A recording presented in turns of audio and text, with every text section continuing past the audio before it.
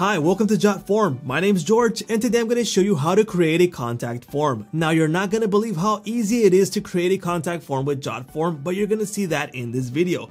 Now contact forms are a must have on any website and yes, you can forget about HTML, CSS, or PHP. You're going to be able to build it really fast and really quickly with JotForm and embed it on any site that you want. Yes, that includes WordPress. So let's head on over to my dashboard and show you how to build a contact form right now. Alright, this is JotForm's dashboard and to get started it's super easy. So let's head on over to create a brand new form and we have two ways of getting started to create our contact form. The first way is from scratch, which is the way I'm going to show you, but there's also the use template. Now this is really cool because you can get started really quickly. Now in this case, we can go ahead and go into the contact forms section and we can select any of the templates that we like right here. Now heads up, you can select the template, but you might not like how it looks. Don't worry, we can change that later. So that's easy to do.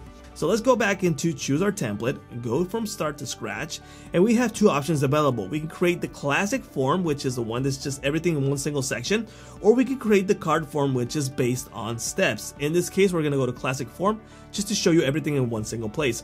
Now don't worry, we can change that option, option later on if we want to change it to a step form. Now we have the add elements section right here. This is where we're going to drag inside our form the contact information that we need. So for example, obviously we're going to need the name, so we drag it in here. We're going to need the email.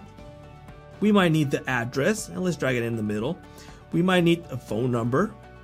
What else we might, we might need? Um, we can select also a short text for the description, so let's put it in here and a long text, okay?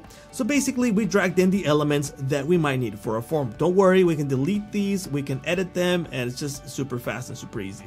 Now to edit any one of these elements, we can click on them and we get a little wheel option right here. If we click on it, we get the property options for this form. So in this case, we can select what we want to use. For example, we can change the title of this. So we can change this to like full name, for example. We can change the label alignment. So see how that looks. We can set it as a form default. So once you've selected it, all the ones will change and we can start using that default template as the next ones. We can have this a required field or not. In this case, yes, we do want to know their name. They cannot skip this section right here. We have the sub labels and we can duplicate this field if we need the same one again. We have the options available right here. So for example, if we also need the middle name, so we can enable that, a prefix, prefix, um, we can change it to the text box or drop down. So for example, we'll use a drop down and we can add more prefix right here if we need. We also have the suffix option available, which, which is too much, right? Let's keep it like that. We also have the advanced options to enable or disable things like read only, shrink, or hide, hide this field. So you might want to use hide field for a conditional logic, which I'll show you in a bit. Um, next, we have the address. Again, you can keep it as the optional or keep it or make it required. For example, if you are going to ship something with this or you need the address to send them a letter later on, then obviously we do need the address. But in this case, we'll keep it disabled. We also have the phone number section. Again, um, all the settings will change depending on the element that we drag in. So for example, in this case, again, we can make it required, but in options, it changes a bit. So for example, we can make them use the country code like you have to they have to add it um, this might be useful if you are doing this for other countries right so many people from other countries might be filling out the form but if it's just like US and just like keep like that, or one single country, you might need the country code. You just know it's from that country. The input mask, so for example right here, this is how it's looked. You could change it if you need something more customizable.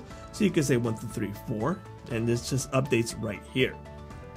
Again, we can go to the advanced options, keep it masked, read only, shrink, or hide field.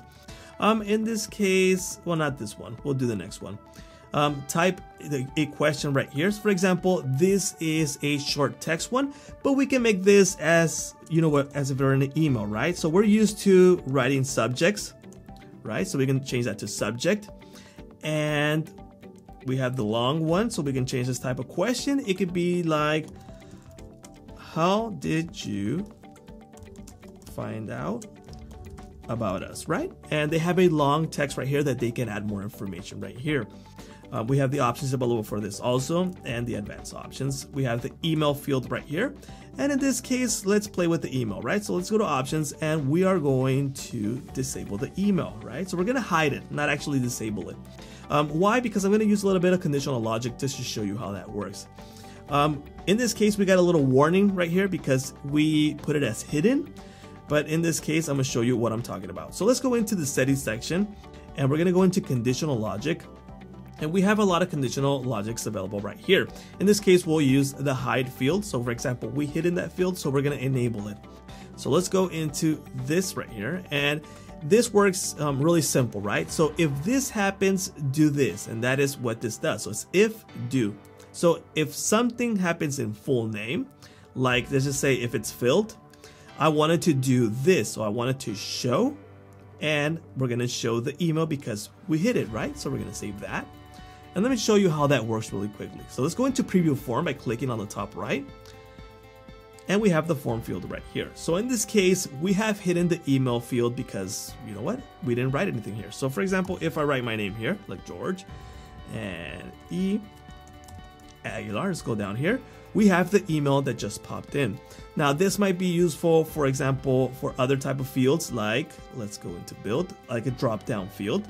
So let's go into the drop down and let's just add a top on the top right here, right? And we have the top information right here. So we have the options available, like option, let's just say uh, support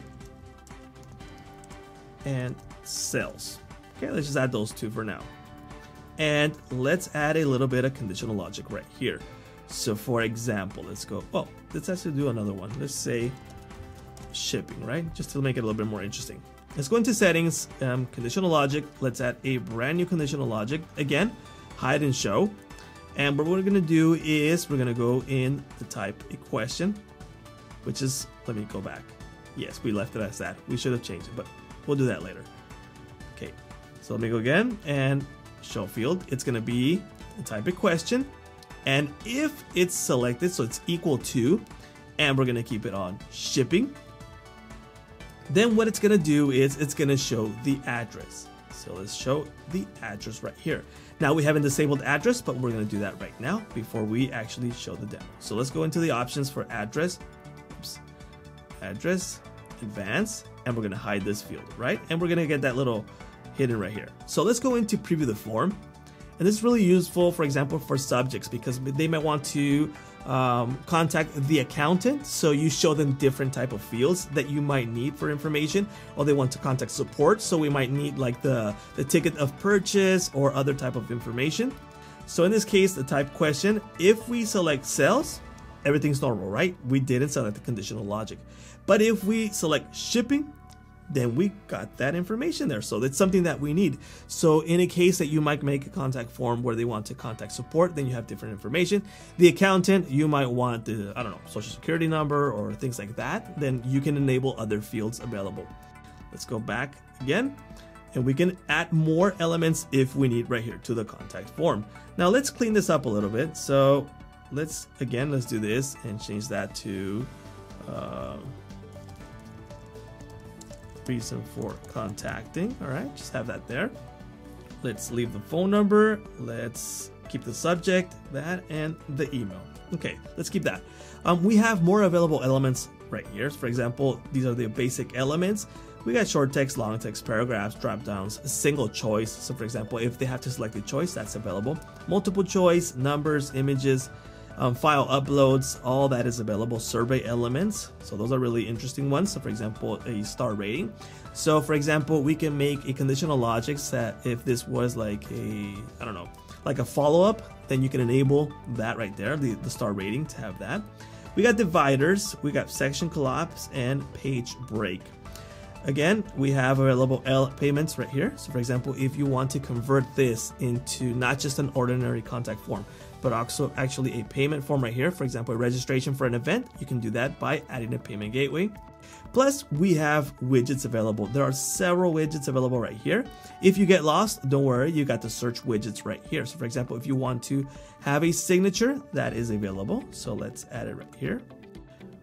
Again, I don't recommend that you make a contact form really long because people might just avoid signing up. So keep contact form short. In this case, I'm just giving you a demo, right? So let's preview this form again.